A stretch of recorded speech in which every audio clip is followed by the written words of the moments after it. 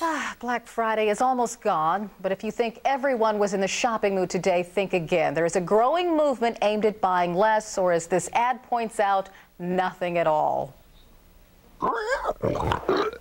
The average North American consumes five times more than a Mexican, 10 times more than a Chinese person, and 30 times more than a person from India. We are the most voracious consumers in the world. A world that could die because of the way we North Americans live. Give it a rest. November 26 is Buy Nothing Day. Now, the group behind the ad is urging a boycott on shopping for the entire holiday season. The man behind the drive is Kalle Lasn, editor in chief of Adbusters magazine. He joins us live from Vancouver, British Columbia. Welcome. Yes, hi. I, I, should point out that the ad you just saw, uh, we were not able to buy any airtime on MTV, Fox, ABC, NBC, or CBS for that ad. Well, why do you think that is? Because I think that uh, uh, they want to generate as much consumption as they can during the Christmas shopping season, and they don't like dissenting voices like this coming on. No, we make our money off of advertisements, so we want the money too. But yes. do you really think portraying consumers as pigs is an effective way to get people to stop buying so much?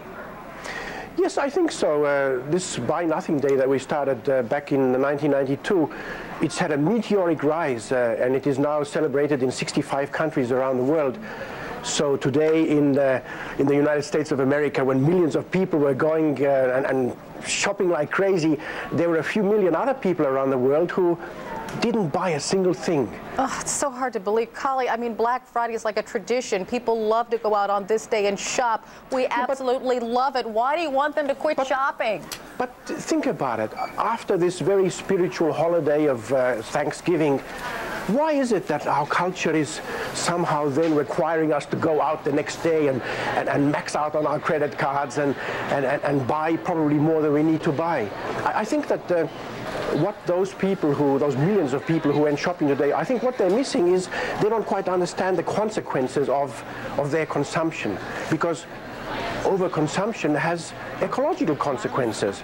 Uh, you know, that uh, uh, overconsumption is in some sense the, the, mother of all our environmental problems. Oh, come on, environmental problems? Yes, environmental problems. every single purchase that you make has some kind of an impact on the planet, and, and we, the, the rich one billion of the people on the planet, are now consuming 86% of all the, the goods in the global marketplace, leaving a, a lousy 14% for the rest of the 5 billion people on the planet, and then we wonder why it has ecological psychological, and, and political consequences. I believe that overconsumption in, in the rich countries of the world is one of the root causes of, of terrorism. I believe that this huge inequity, oh, 86, percent for the rich people, 14 if, if for the poor. If somebody wants to buy their kid an Elmo doll, what's the harm in that? Well, yeah, I mean, you make it sound so nice, but you know, if we, if we consume 86% and we leave only 14% for the rest of the 5 billion people on the planet, how do you think that makes them feel? What about, no, forget about our kids, what about their kids? I, I can understand that sentiment perfectly, but, but, but, but buy nothing, wouldn't that destroy the American economy? Well, yes, I think that if we suddenly all stop buying, then of course it would uh, hurt the economy, but only in the short term.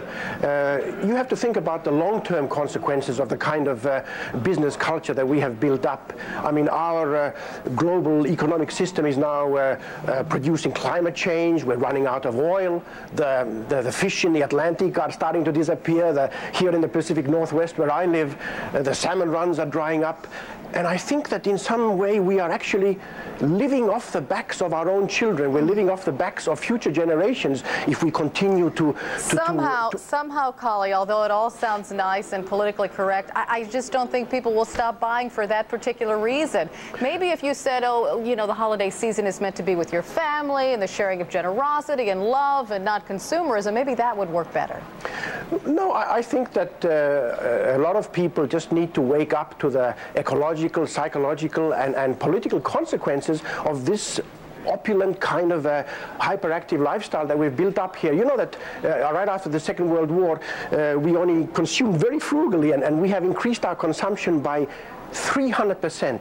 The, the average consumer today consumes three times more than the average consumer did uh, right after the Second World War. We 50 got a years lot ago. more money now. And you know, Colleen yeah, Lasn, we've yeah, got we have a lot more there. money, but our happiness has not gone up. Not even Well, by I would 1%. hope that that's not true. Colleen Lasn, thank you for joining us tonight. We appreciate it. Yes. Adios. Adios.